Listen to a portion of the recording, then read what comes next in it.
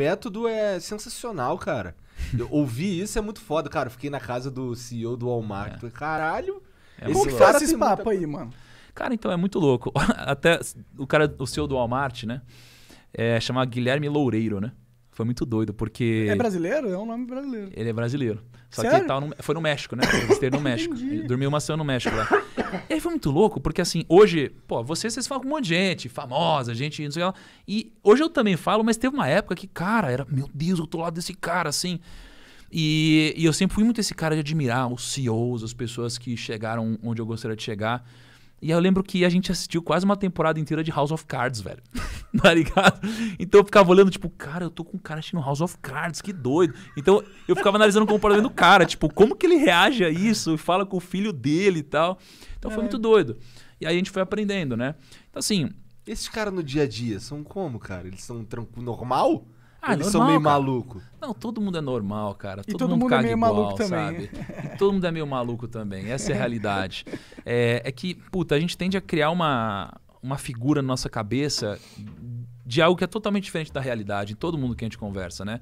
Hoje eu tenho o, o privilégio de estar próximo de algumas das pessoas que me incentivaram e me ajudaram a chegar onde eu cheguei. E, e conhecendo mais elas no bastidor, eu vejo que elas são normais, velho.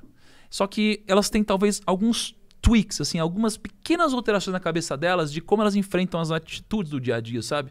Por exemplo, é, cara, eu tô no restaurante. Eu tô no restaurante com alguém que não pensa assim. A pessoa ela vai comer e vai olhar só pra comida, sei lá. Tipo, ah, que gostoso. Aí eu vou olhar pra alguém que pensa em negócios, essa pessoa vai olhar e falar assim, cara, tá lotado aqui, né?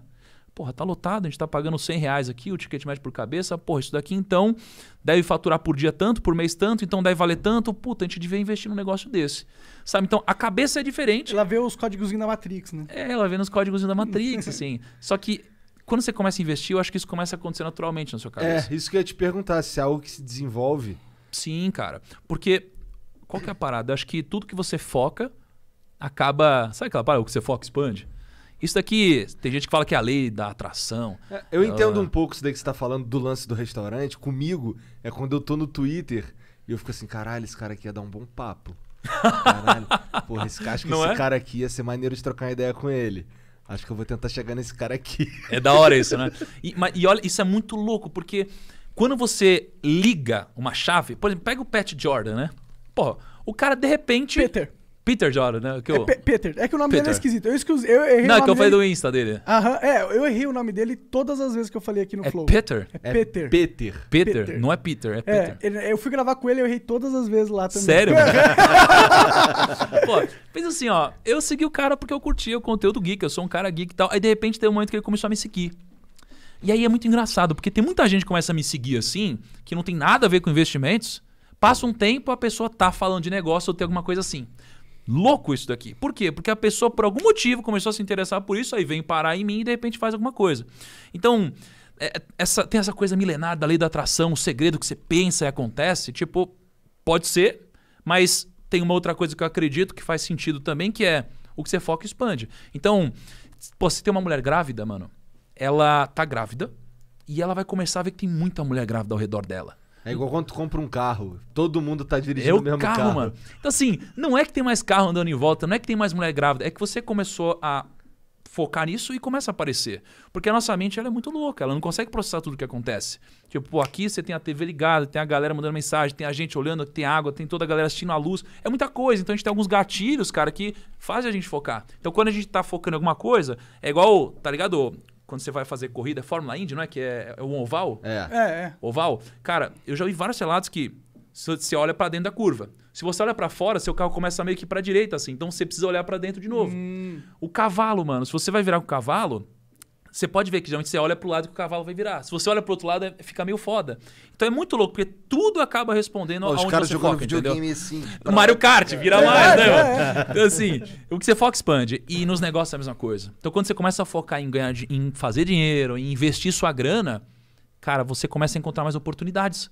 As oportunidades começam a chegar em você, né? Então, é muito louco, porque você está focando nisso. Agora, se você foca em treta, se você foca em ódio, hater, é, discussão, briga, fazer cagada, mano, é isso que você vai encontrar na sua vida. Entendeu? Por isso que eu acho que pode ser ah, o segredo, mas, cara, pode ser também muito mais simples do que isso, sabe? Entendi, é porque um dos, o segredo é ser good vibes, né? É, cara, o segredo, porra, é você fazer o bem pros outros, né? E, cara, e uma coisa que eu aprendi é você não querer dar conselho demais pra quem não quer ouvir, cara. Isso é foda, né? É, isso é foda mesmo. Isso é foda. Eu, eu tava, porra, eu pô, falo muito sobre educação financeira, né? E aí teve um momento que eu queria mudar o mundo. Eu queria mudar o mundo, velho. Eu queria falar com todo mundo do Brasil. Aí eu tomei uma repreendida nervosa, assim, de uma, uma galera, eu não entendi nada. Eu falei, uai, mas eu falei uma coisa na boa, assim. E aí eu fui gravar um podcast uma vez com a Viviane Senna, né? Que é a irmã do Ayrton Senna. Eu falei, Viviane, o- dá pra você ensinar alguém que não quer aprender? Porque ela trabalha com muitos projetos educacionais. Ela falou assim, não, não dá. Falei, caralho. Aí eu falei, Bernardinho, dá pra você motivar alguém que não quer ser motivado? Ele falou, não dá. Eu falei, caralho. Então eu não vou ensinar quem não quer aprender. Né? Então, é, aí que eu saquei, puta, não adianta eu querer dar conselho pra quem não quer ouvir, velho. Entendeu? É tipo, você tem que dar conselho pra quem é sábio. Um sábio, ele ama isso. Ele curte ser repreendido porque ele aprende, ele cresce. Um cara que é um tolo, é um idiota, é um cara com desumilde, ele não gosta disso. Porque ele acha que sabe tudo, né? Então,